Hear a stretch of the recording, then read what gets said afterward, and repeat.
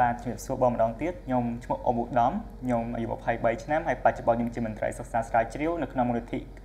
Conrad Adenauer Stiftung ដែលជាមូលនិធិរបស់អង្គការអាល្លឺម៉ង់ប្រចាំនៅកម្ពុជាជាមូលនិធិមួយដែលយើង focus ទៅលើ ការសង្កេតទៅលើរបាយការណ៍នយោបាយនៅទូទាំងពិភពលោកព្រឹត្តិការណ៍នយោបាយផ្សេងផ្សេងហើយវាគឺជាអីដែលយើងកំពុងធ្វើរាល់ថ្ងៃមុខវិជ្ជា political science មែនតើទៅក៏វិទ្យាសាស្ត្រនយោបាយដែលយើងបកប្រែជាខ្មែរខ្ញុំគិតថាវាវាសម្រាប់ខ្ញុំគឺវាមានអត្ថប្រយោជន៍ហើយគឺចាប់អារម្មណ៍ខ្លាំងមែនតើជាយុវជនមួយរូបពេលដែលយើងរៀនអំពីមុខវិជ្ជា political science ឬក៏វិទ្យាសាស្ត្រនយោបាយហ្នឹងយើងអាចគិតបានស៊ីជម្រៅជាងមុនទៅលើព្រឹត្តិការណ៍ដែលបានកើតឡើងក្នុងសង្គមយើងអាចវិភាគបាន ជ្រៅជាងមុនទៅលើបញ្ហាឯមួយជាជាងការមើលទៅលើផ្នែកខាងលើនៅក្នុងបញ្ហាមួយហ្នឹងអឺព្រោះតែកន្លែងអស់ហ្នឹងឯង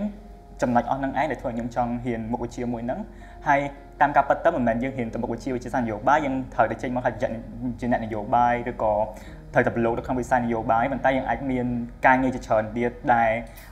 អាច ចេញមកពីអ្នកដែលរៀននៅក្នុង political science ដូចគ្នាអ្នកខ្លះក៏ចេញមកក៏អាចធ្វើជាសាស្ត្រាចារ្យផ្នែកវិទ្យាសាស្ត្រនយោបាយអ្នកខ្លះក៏ចេញមកអាចជាអ្នកវិភាគផ្នែកវិទ្យាសាស្ត្រនយោបាយឬក៏អ្នកសិក្សាស្រាវជ្រាវដូចជាខ្ញុំឬក៏មានការងារច្រើនមួយចំនួនធំទៀតដែលគាត់អាចធ្វើបានអូខ្ញុំចំណាយពេល4ឆ្នាំនៅក្នុងការសិក្សាផ្នែកវិទ្យាសាស្ត្រនយោបាយហ្នឹងមែនតើទៅសាកលវិទ្យាល័យដែលខ្ញុំរៀនហ្នឹងគេឈ្មោះពេញមុខវិជ្ជាដែលខ្ញុំរៀនគឺវិទ្យាសាស្ត្រនយោបាយនិងទំនាក់ទំនងអន្តរជាតិ ចឹងខ្ញុំរៀនទៅលើវិទ្យាសាស្ត្រនយោបាយផងជាកត្តាផ្គប់ផ្សំនៃនយោបាយរបស់ពិភពលោកនយោបាយក្នុងសង្គមមនុស្សរាល់ថ្ងៃហ្នឹងជាមួយនឹងតំណែងតំណងរវាងសង្គមនិងសង្គមប្រទេសនិងប្រទេសមនុស្សនិងមនុស្សអីចឹងទៅមែនតើទៅយើងមិនអាចគ្រាន់តែកាន់សញ្ញាបត្រមកសន្លឹកឲ្យមករកការងារបានទេវាមានកត្តាគួបផ្សំច្រើនបទពិសោធន៍ការងារសមត្ថភាពផ្ទាល់ខ្លួនស្អី network ក៏យើងត្រូវការដែរនៅក្នុងហ្នឹងអឺដើម្បីយើងដើម្បីឲ្យយើងអាច បង្កើតនៅ capacity ខ្លួនឯងបានឬក៏ខ្មែរបកប្រែថាដកឧត្តមភាពនៃនៃនៃជីវិតរបស់យើងឧទាហរណ៍អញ្ចឹងមកមករយៈពេល4ឆ្នាំដែលខ្ញុំនៅក្នុងថ្នាក់សាកលវិទ្យាល័យរបស់ខ្ញុំហ្នឹងខ្ញុំចំណាយពេលភាគច្រើនក្រៅពីការរៀន បង្កើតទំនាក់ទំនងជាមួយមិត្តភ័ក្តិនៅក្នុងសាលាហើយពង្រីកទំនាក់ទំនងមួយហ្នឹងជាមួយនឹងមនុស្សដែលនៅជុំវិញយើងទៅក្នុងវិស័យផ្សេងផ្សេងហ្នឹងទៀតវាអាចអ្នកខ្លះគាត់ក្នុងគាត់ប្រឡូកនៅក្នុងវិស័យផ្នែកធំធំអស់ហ្នឹងវិស័យនយោបាយនៅក្នុងវិស័យការទូតនៅក្នុងវិស័យនៅក្នុងអន្តរជាតិនៅក្នុងវិស័យសេដ្ឋកិច្ចយើងមានឱកាសយើងជ្រាបទៅរកពួកគាត់ដើម្បីយើងរៀនសូត្រពីពួកគាត់ឲ្យបានច្រើននៅក្នុងរយៈពេល4ឆ្នាំហ្នឹងខ្ញុំបានបង្កើតនៅសមត្ថភាពរបស់ខ្លួនឯងបទពិសោធន៍ខ្លួនឯងឲ្យបានច្រើនតាមតែអាចធ្វើទៅបានកាលពីការសិក្សា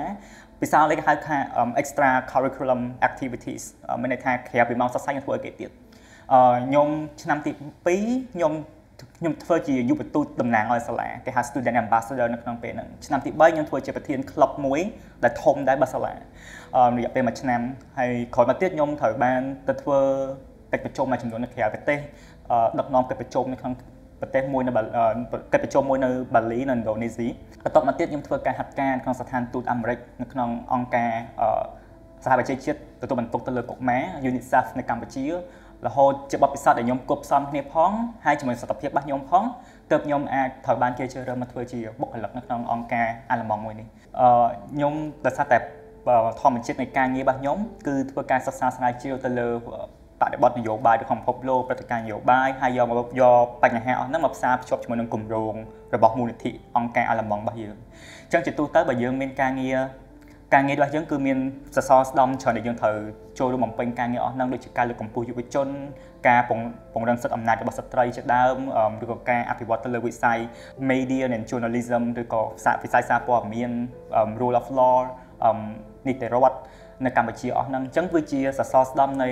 មូលនិធិរបស់យើងដែលយើងកំពុងតែធ្វើរាល់ថ្ងៃដើម្បីធ្វើឲ្យយើងបង្កើតគម្រោងផ្សេងផ្សេងដើម្បីយើងអាចសម្រេចបាននូវគោលដៅចុងក្រោយអស់ហ្នឹងគឺធ្វើបង្កើតសង្គមកម្ពុជាមកឲ្យល្អសម្រាប់យុវជនសម្រាប់ប្រទេសមាននីតិរដ្ឋមានអីជាដើមបបពិសោធន៍តខ្លួនខ្ញុំគិតថា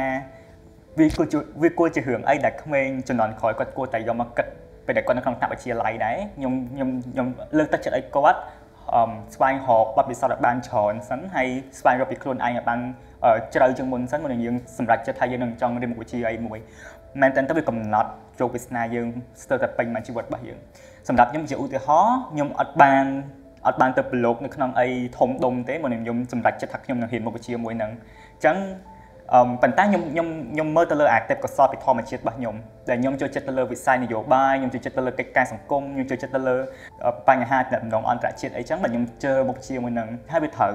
អឺជាជារឿងមួយដែលល្អដែរប៉ុន្តែក៏មានអ្នកមួយចំនួនធំគាត់ជឿរើសមុខវិជ្ជាដែលខុសអមដោយសារតែខ្វះនៅបទពិសោធន៍ខ្វះនៅការយល់ដឹងពីមុខវិជ្ជានៅបានស៊ីជម្រៅខ្វះនៅការយល់ដឹងពីទេពកោសល្យពីធម្មជាតិរបស់ខ្លួនឯង ចឹងវាជាកត្តាគប់ផ្សំទាំងអស់ចឹងខ្ញុំមែនតើខ្ញុំលើកទឹកចិត្តឲ្យក្មេងៗគាត់ស្វែងយល់ឲ្យបានច្រើនឲ្យបានស៊ីជម្រៅមុននឹងគាត់សម្រេចចិត្តរៀនមុខវិជ្ជាអីមួយមែនតើសំណួរល្អខ្ញុំខ្ញុំសម័យខ្ញុំខ្ញុំគិតត្រឡប់ក្រោយវិញនៅក្នុងរយៈពេលប្រហែល4ឆ្នាំមុនអឺមួយមួយគិតថាមុខវិជ្ជា accountant អស់ការងារធ្វើអី like មួយមួយគិតថាបញ្ចប់ពី accountant ទៅរៀនចប់នៅសាកលទៅអឺអ្នកប្រឡូកក្នុងវិស័យ accountant កោជើងគ្នាអត់កន្លែងធ្វើការតាមការពិតទៅ វាជារឿងប៉ិតមែនដែលយើងអត់បានគិតថាតើសង្គមយើងត្រូវការអ្នកអ្នកអ្នកធ្វើការអីគេប្រភេទការងារមួយណាក្នុងរយៈពេល10ដល់20ឆ្នាំខាងមុខទៀតយើងហ៊ានយើងឃើញមនុស្សច្រើនហ៊ាន accountant យើងហ៊ាន accountant តាមគេប៉ុន្តែយើងបញ្ចប់ការសិក្សា4ឆ្នាំទៅទៀតនោះហើយ4ឆ្នាំទៅទៀតហ្នឹងអាទីផ្សារការងារស្រុកខ្មែរយើងវាវា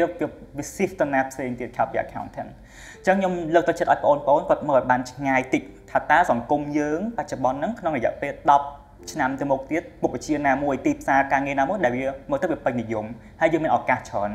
អាហ្នឹងទៅវាសំខាន់អាហ្នឹងអាហ្នឹងរឿងមួយរឿងមួយទៀតខ្ញុំខ្លួនឯងខ្ញុំឆ្លាញ់មុខវិជ្ជាហ្នឹងខ្ញុំចង់ហ៊ានចឹងបើទោះបីជាមុខវិជ្ជាហ្នឹងមិនមែនទៅវាអត់មានការងារធ្វើឬមិនក៏ដោយក៏ខ្ញុំនៅឆ្លាញ់ការងារហ្នឹងមុខវិជ្ជាមួយហ្នឹងដែរប៉ុន្តែឲ្យតែយើងចិត្តប្រកបខ្ញុំអាចនិយាយបានថាឲ្យតែយើងចិត្តប្រកបយើងអាចរកការងារបានណាណាមួយបានទាំងអស់យើងមិនចាប់ត្រឹមហ្នឹងដែលយើងអត់មានការងារធ្វើយើងចេះអីមួយចេះប្រកបបើយើងស្រឡាញ់ថាការងារយើងជាការងារអីមួយ ទេពកោសល្យពីធម្មជាតិយើងតម្រូវយើងធ្វើការងារអីមួយធ្វើឲ្យនឹងបានល្អហ៊ានបានសូត្របានច្រើនហើយធ្វើឲ្យយើងធ្វើល្អជាទីបំផុតនឹងយើងនឹងមានការងារល្អធ្វើយើងឧទាហរណ៍ថាអ្នកខ្លះក៏ចិត្តគូរូបហើយបើយើងមែនតើទៅក្នុងសកលក្នុងសាលាក្នុងវិទ្យាល័យឬក្នុងថ្នាក់បឋមសិក្សាមួយមួយលោកគ្រូអ្នកគ្រូគាត់អាចគិតថា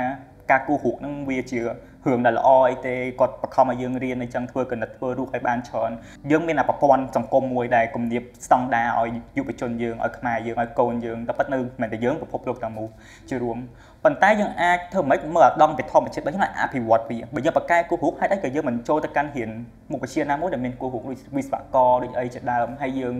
អាចយកនឹងមកធ្វើជាអាជីពបានអញ្ចឹងមើលទៅលើអាហ្នឹងមើលអតិថិកសលរបស់យើងផងមើលតម្រូវការការងាររបស់យើងទីផ្សារការងារក្នុងពេលបច្ចុប្បន្ននិងអនាគតខ្ញុំប្រៀបធៀបគ្នាទៅហើយយើងគូផ្លូវដែលយើងត្រូវដើរខ្លួនឯងហើយខ្ញុំជឿថាអាចមានឱកាសជោគជ័យច្រើនកាប់ខ្ញុំខ្ញុំសូមជូនអឺសារចុងក្រោយជាការលើកទឹកចិត្តសម្រាប់យុវជនខ្មែរយើងណាដោយសារតែបរិបទនៃការសិក្សាស្រាវជ្រាវផ្នែកវិទ្យាសាស្ត្រនយោបាយនៅក្នុងសង្គមយើងរៀបតូចអត់សូវបើកទៅលំធ្លាយទេបើមានឱកាសស្រឡាញ់ ចូលក្នុងវិស័យហ្នឹងអឺមានកត្តាច្រើនដែលយើងអាចសម្រេចមានមានកត្តាច្រើនដែលយើងអាចបញ្ជាក់បានថាការសិក្សាស្រាវជ្រាវមិនមែនជារឿងដែលមិនមែនរឿងដែលអាក្រក់ទេជាពិសេសក្នុងវិស័យសិក្សាស្រាវជ្រាវផ្នែកវិទ្យាសាស្ត្រនយោបាយក្នុងក្នុងប្រទេសជឿនលឿនមួយចំនួននៅក្នុងអឺរ៉ុប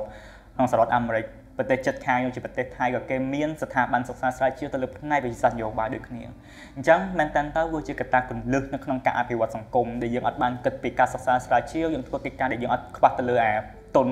ពីការសិក្សាស្រាវជ្រាវទេ ការអនុវត្តទៅលើការអភិវឌ្ឍអីមួយក៏អត់មានប្រសិទ្ធភាពខ្ពស់ដែរ